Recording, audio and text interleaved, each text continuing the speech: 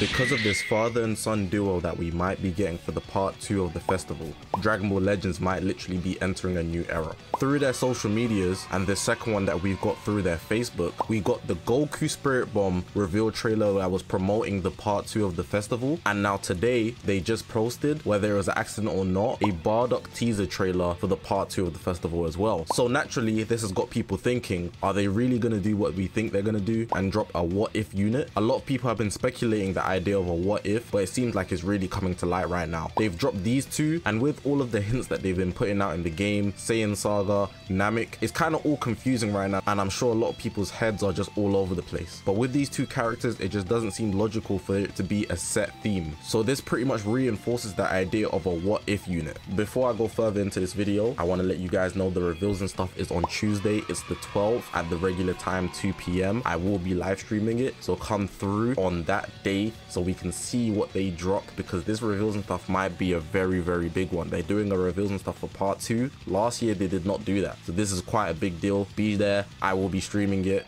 at least one hour before. We're gonna get lit. I'm sure you guys are familiar. When you guys summon there's already the goku and bardock summon animation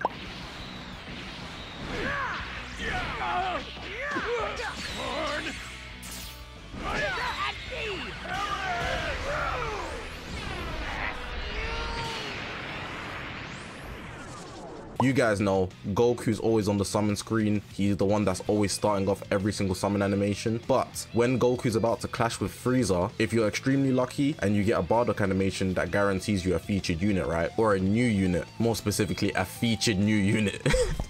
Anyways, the animation they use in the summon animation is pretty cool. It's super cool actually. When Bardock appears, it really catches you off guard. And then Goku and Bardock are just working together, beating the hell out of Frieza. They finish by doing an attack together that looks super cool. Even if they gave us that as the legendary finish, it would just be a wild start in my opinion. And that attack animation, that sequence that Bardock and Goku do together is still pretty phenomenal in my opinion. Just because it's been in the game for a long while, people will find a way to complain. But if you're asking me, I would still be satisfied with getting that as an animation for the two units. But of course, I'm just speculating here, and there's no guarantee that they'd actually drop a what if unit with Goku and Bardock as a tag unit together. They could very much just be two LF units, but if we're looking at the art through the silhouettes, they very much do look like Ultras, especially because they separated them. It seems very likely that it's going to be an Ultra. Now, at first, people were looking at the Goku and thinking, oh, he's not moving that much. He looks very idle. It's very likely that he's free to play. But what about this Bardock now? Is it a separate thing? Is it together? Bardock on his own also looks free to play. They both could be together and be a free-to-play Ultra. It could be the first Ultra tag unit. It could be the first free-to-play Ultra tag unit. You can add all these labels to it and we're all just speculating and I think that's what really makes part 2 of the festival super hype or the festival in general. When Legends are releasing units and nobody knows where it actually is,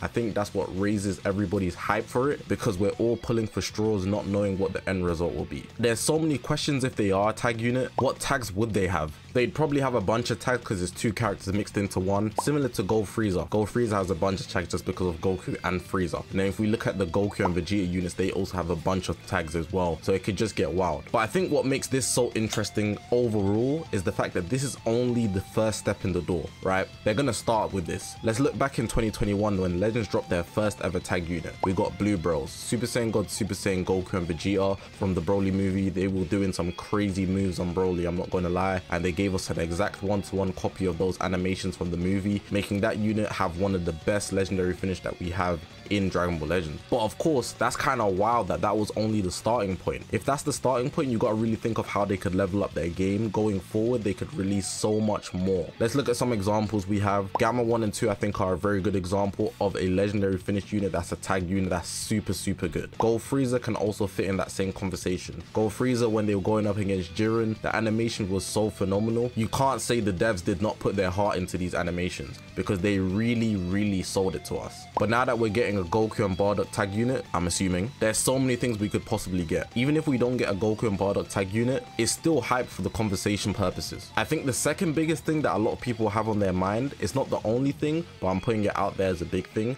would be a Frieza and a Cooler tag unit. Those guys are literally brothers. That would be wow. The biggest LOE menace force ever in the game. Them two guys working together on one team would be nuts. A lot of fans would summon for that undeniably. They might have me, and I don't even summon for Frieza units ever. That's not part of my system, but they might have me with that one. With these what ifs, there's so much creativity that can be put into it, so much customization. The animations, they can go all out. They can really just make something that's super creative, and I think that's what's going to bring a lot more hype to Dragon Ball Legends. People often have the notion, oh, Legends is not going to last for a long time, but there's just so much they can do with this game. It's not a stick-made game. It has so much fluidity to it. It has so much creativity to it that could just be so easily, and I'm sure they have so much held in the bag that they're just holding back. This is only like a scratch of the surface. This is not even touching on any mechanics that the unit might get. This is simply just the idea of it, just the idea, and we can already talk about it in so many different ways. Just some other speculation around the part 2 of the festival. We have passed the 2000 day celebration mark, so it's got me thinking are they going to do anything in the festival for 2000 days as well? Maybe a Shallot, maybe this could be a free to play ultra for the 2000 days,